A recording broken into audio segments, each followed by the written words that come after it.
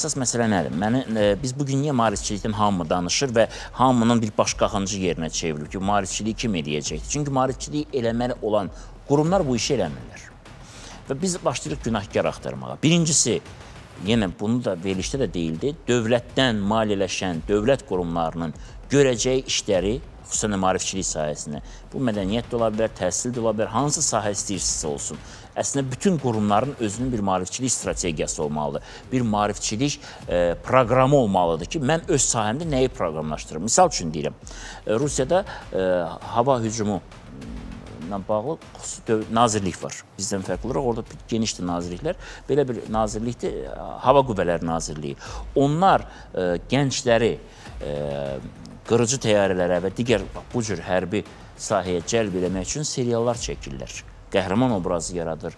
Məsəl üçün Çkalovdan və s. və ilaxır. Bu balaca bir nazirliyin, indi balaca deyil, amma hər halda gördüyü işdir. Baxın, hər bir qurum öz sahəsində təbliğat iş aparsa, özünə aid olan çərçivələrdə öz vəzifə borcunu yerinə yetirsə, nələr eləyə bilərik? Bugün hansı e, normal dövlət qurumunun maarifçilik siyasətinin şahidi oluruq? Hələ sosial re reklamlar çəkmək və yaxud divarlara filan şey edin, nida işarəsi qoyub reklam vermək maarifçilik işi deyil.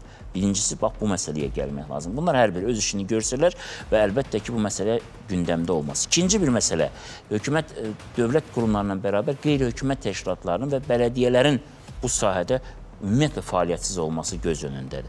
Biz e, e, elektron resurslarda qeyri-hökumət təşkilatlarının neçə faizinin fəaliyyətini görürük? Çox az qisminin. Bələdiyyələrin ümumiyyətlə prosesdə e, Türkiyənin özündə belə bələdiyyə məxsus olan məktəblər, universitetlər var. Bələdiyyələr bu qədər böyük və əhəmiyyətli işlər görür. Bizdə isə hansı səviyyədədir? Ancaq kirayə haqqı, nəsə haqqı da yığırlar ildə bir dəfə məhkəmələrlə təhdid eləməkdən başqa bələdiyyələr heç bir işi görmürlər.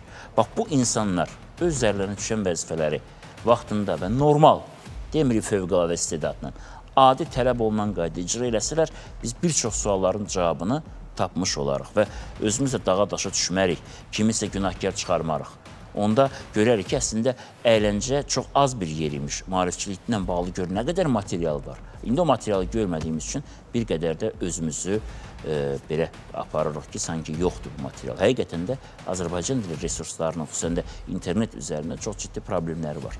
Amma həyat təkcə internet deyil, real həyatda necədir vəziyyət? Qeyri belə deyək, şəbəkə fəaliyyətində, e, qeyri şəbəkə hissəsində həyatımızın nələri görürük? Axı burada da çox ciddi suallar var. Demək, hər bir qurum öz üzərinə düşən vəzifəsini normalca yerinə yetirsə, biz bir çox sualların cavabını taparıq.